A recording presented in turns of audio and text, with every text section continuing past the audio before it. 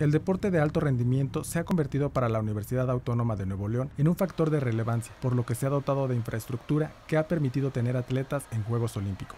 Nosotros consideramos que la base del alto rendimiento en México debería estar en las universidades, que tendría que ser más apoyado el deporte universitario, ¿verdad?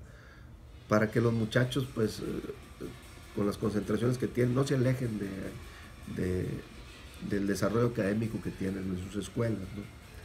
La Universidad Autónoma de Nuevo León cuenta con el Centro Acuático Olímpico Universitario, el Estadio Gaspar Más, el Estadio Raimundo Chico Rivera, que tiene pista de tartán, el Gimnasio Luis Eugenio Todd para básquetbol y otras disciplinas, además de canchas de fútbol y fútbol rápido, solo por mencionar algunos. En total, dentro de la universidad se practican 35 deportes en los que buscan la preparación de deportistas y la detección de talentos para guiarlos hacia el programa de alto rendimiento.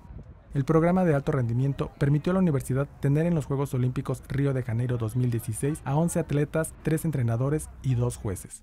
Con información e imágenes de Víctor Álvarez, corresponsal en Monterrey, Notimex.